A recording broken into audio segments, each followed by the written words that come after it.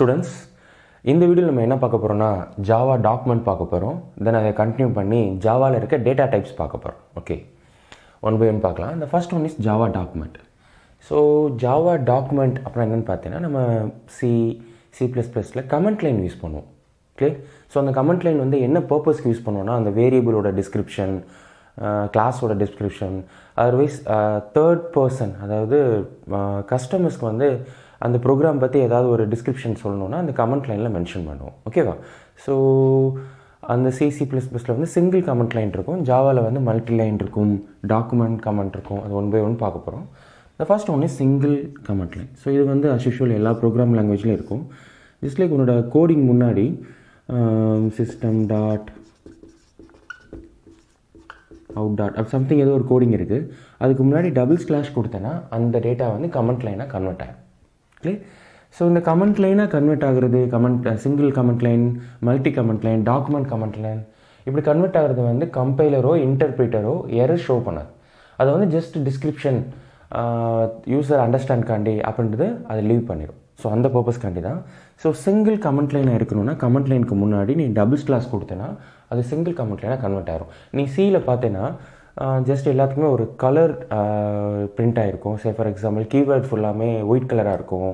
Variable ஃபுல்லாமே green கலராக இருக்கும். இப்போ கமெண்ட் லைன் நீ டபுள் ஸ்லாஷ் கொடுக்குற அப்படின்னா ஆட்டோமேட்டிக்காக நீ ரெண்டாவது ஸ்லாஷ் கொடுத்தோன்னே அது வந்து ப்ரோக்ராம்லேருந்து ப்ளூ கலரில் மாறிடும். ஓகே தென் பிரிண்ட் ஸ்டேட்மெண்ட் ஃபுல்லாக ரெட் கலராக இருக்கும். செக் பண்ணி பாரு. ஸோ இதுதான் இருக்குன்னு அவசியம் இல்லை. நம்ம கலரை சேஞ்ச் பண்ணிக்கலாம். பட் ஆனால் இது ஒரு ஐடென்டிஃபிகேஷன் ஓகே அந்த பர்பஸ்க்காண்டி so next one multi line comment multi line comment nothing but slash star அந்த ப்ரோக்ராம் எழுதிட்டு ப்ரோக்ராம் முடியும் போதும் ஸ்டார் ஸ்லாஷ் அப்படின்னு கொடுத்துட்டேன்னா அது multi group of line more than ஒரு லைன் இருக்கும்போதும் ஒரு செட் ஆஃப் ப்ரோக்ராமே நான் வந்து இஃப் லூப் ஸ்டார்ட் பண்ணியிருக்கு இந்த லைனை வந்து நான் டோட்டலாக வந்து செக் பண்ணுறதுக்காண்டி கமெண்ட்லேயே நான் மாற்றணும்னு நினச்சேன்னா star slash star slash star star ஸ்லாஷ்னு கொடுத்தனா அது குரூப் மல்டி லைன் மல்டி கமெண்ட்லேனா மாறும். மல்டி லைன் கமெண்ட்டாக மாறிடும். கிளியர் இது ஃபுல்லாமே எக்ஸிக்யூட் பண்ணது கிளியர் இந்த last one third one document comment so இது நிறையா இருக்குது ஜஸ்ட் லைக் இதே மாதிரி தான் மல்டிலைன் கமெண்ட் மாதிரி தான் ஸ்டார் ஸ்லாஷ் டபுள் ஸ்டார் முடியும் போதும் ஸ்டார் ஸ்லாஷ்னு கொடுத்துடணும்.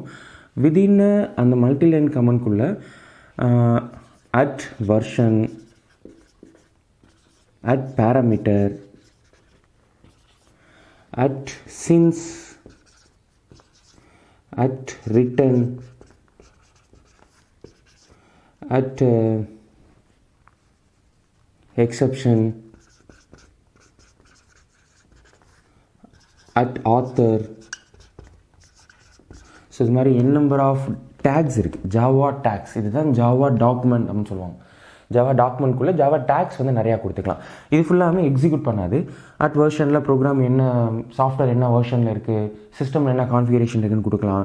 என்ன பேராமீட்டர் பாஸ் பண்ணுறேன் சின்ஸ் எப்போ இந்த ப்ரோக்ராம் எழுதுறேன் இது ரிட்டர்ன் பண்ணுமா எக்ஸப்ஷன் இருக்கா அட் ஆத்தர் யார் நான் தான் ப்ரோக்ராம் எழுதுறேன்னா நான் தான் ஆத்தர் இந்த மாதிரி டிஸ்கிரிப்ஷனை அதுக்குள்ளே கொடுத்துக்கலாம். இந்த இதை வந்து ஜாவா வந்து சப்போர்ட் பண்ணும். இது மற்ற ப்ரோக்ராமில் இல்லை ஜாவாவில் இருக்குது இதை தான் நம்ம ஜாவா டாக்குமெண்ட் அப்படின்னு மென்ஷன் பண்ணுறோம் கிளியர் ஸோ இதுதான் ஜாவா டாக்குமெண்ட் கிளியர் இப்போ நெக்ஸ்ட் நம்ம டேட்டா டைப்ஸ் பார்க்கலாம். ஸோ டேட்டா டைப்ஸ் ஸோ நார்மலாக ப்ரோக்ராமிங் லாங்குவேஜில் integer float character data types நிறையா இருக்கும் சிசி ப்ளஸ் ப்ளஸில் ஸோ இங்கே ஜாவாவில் அடிஷ்னலாக ரெண்டு மூணு டேட்டா டைப் இருக்குது அது என்னென்னு பார்க்கலாம். So first one data types can be classified into two types the first one is primitive data type and second one is non primitive data type so நமக்கு நல்லாவே தெரியும். ப்ரிமிட்டிவ்னா என்னென்னா ஃபிக்ஸட் சைஸ் நான் ப்ரிமிட்டிவ்னா அந்த சைஸை ப்ரிடிக்ட் பண்ண முடியாது. டிபெண்ட்ஸ் அப்பான் ப்ரோக்ராம்க்கு ஏற்ற மாதிரி நம்ம செக் பண்ணோம். ஓகேவா ப்ரிடிக்ட் பண்ணியிருப்போம் அசைன் பண்ணியிருப்போம். ஸோ அதனால தான் நான் ப்ரிமிட்டிவில் பார்த்தோன்னா ஸ்ட்ரிங் இருக்குது அரே இருக்குது அப்படி தானே சிங்கிள் கேரக்டருக்கு வந்து கேரக்டர் யூஸ் பண்ணிக்கலாம். ஸோ குரூப் ஆஃப் கேரக்டர் வரும்போதும் நம்மளால் ஃபிக்ஸ் பண்ண முடியாது. அது நம்ம ஸ்ட்ரிங்குன்னு கொடுத்துருவோம் அப்படி தானே ஸோ ஒரு லெட்ரு வரும்போது நம்ம கேரக்டர் கொடுப்போம். இப்போ நேம்னு வைக்கிறோம். நேம் வந்து சின்ன நேமாக இருக்கலாம் ரைட் ஏரியாஸ்னு இருக்கலாம் பிரபுன்னு இருக்கலாம். அதர்வைஸ் ஒரு லென்த்தியான ஒரு நேமாக இருக்கலாம். ஸோ நமக்கு தெரியாது. ஸோ அப்போ ஸ்ட்ரிங்னு அசைன் பண்ணியிருப்போம் as well as array so non primitive வந்து ஸ்ட்ரிங் அரே தென் சம்திங் இதே மாதிரி லென்த்தியான டேட்டாவெல்லாம் ஃபிக்ஸ் பண்ணுறதுக்கு இருக்குது ஸோ அதனால தான் எக்ஸட்ரா மீன் பண்ணியிருக்காங்க. நெக்ஸ்ட் ஒன் ப்ரிமிட்டிவ் ப்ரிமிட்டிவில் அவங்க எப்படி ஸ்ப்ளிட் பண்ணுறாங்கன்னா Boolean and numeric so name itself நியூமெரிக்குன்னு வரும்போது இது ஃபுல்லாக நம்பராக தான் இருக்க போகுது. ஓகேவா பூலியன் போது நம்பர் கிடையாது. ஸோ ஏன் பூலியன் இது அடிஷ்னலாக ஜாவாவில் இருக்கிற ஆப்ரேட்டர் ஜாவாவில் இருக்குது பைத்தானில் இருக்குது ஸோ இந்த பூலியனோட பர்பஸ் என்னென்னா எஸ் ஆர் நோ அப்படி தான் கொடுக்கும் yes or no that is one or zero if it is condition ட்ரூனா true ஒன்னுன்னு ரிட்டன் ஆகும். கண்டிஷன் ஃபால்ஸ்னா ஜீரோ ஜீரோன்னு ரிட்டன் ஆகும். இதுதான் அந்த பூலியனில் இருக்கும். பூலியனில் இந்த ரெண்டு மட்டும்தான் இருக்கும். ட்ரூ ஆர் ஃபால்ஸ் மட்டும்தான் இருக்கும். ஓகே ஸோ அதான் நான் எஸ்ஆர்னு நோன் மென்ஷன் பண்ணியிருக்கேன்.